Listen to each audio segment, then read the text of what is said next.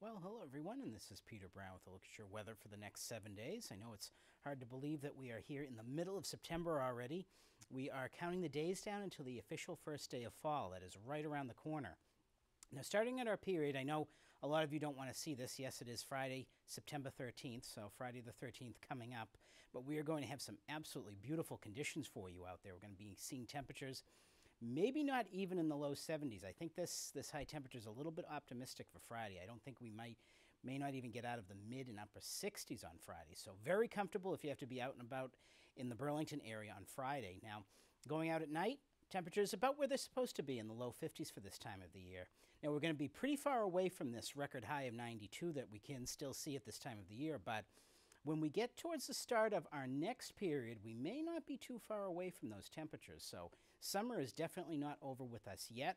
And of course, rounding in our period, look at that, getting close to the third week of September. As you can see, our temperatures keep getting cooler as we head towards fall. Our temperatures should be probably about in the low 70s. At the end of the period, probably be like that, but then we're going to see a real warm up as we head into the next week. And of course, as you notice, look at this, our sun is now setting before 7 o'clock at night, so we won't be seeing those really nice long sunsets until we get maybe probably back into the spring. So fall is definitely on its way. Now as we go ahead, I'm going to show you a little bit about what we're expecting for temperatures over the next 7 to 10 days here in the Burlington area. And this map definitely is not reminiscent of fall, that's for certain. Now, pretty much here in the Burlington area, the rest of southern New England, and actually almost the eastern two-thirds of the country, Climate Prediction Center is expecting above average temperatures for us. And in our area, that's certainly going to be noted as we head in towards the middle of our period, starting the work week out. And again, looking forward to the week after that, we may see some really warm conditions here. So if you love summer and you love the warm weather, never fear. The fall weather is going to be here, but very briefly.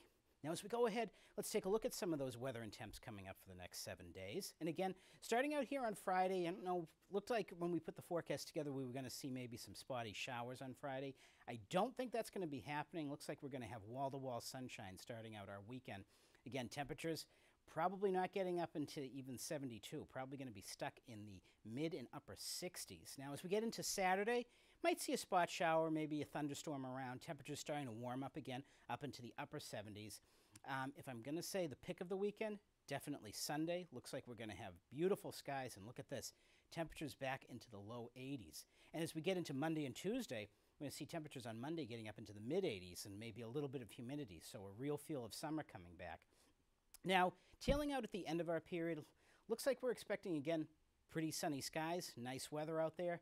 We might have to tack a few degrees onto the temperatures um, each of these days on Wednesday and Thursday. Looks like we're going to be a little bit warmer, and again, that's really foreshadowing what might be coming here starting next the week and after that we might be seeing temperatures in the mid and upper 80s by the time we get there so folks don't worry i know Fall is definitely coming, but we really have that feel of summer still in the air, especially if you're getting out there starting our work week. So everyone, get out there, enjoy the weather, and have a great week.